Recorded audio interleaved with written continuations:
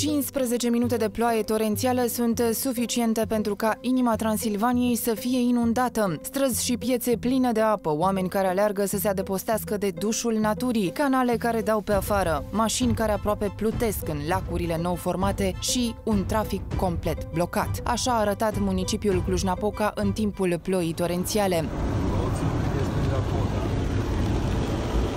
Pe grupurile infotrafic de pe rețeaua de socializare Facebook au circulat filmulețe în care se vedea cum drumul era înghițit de apă.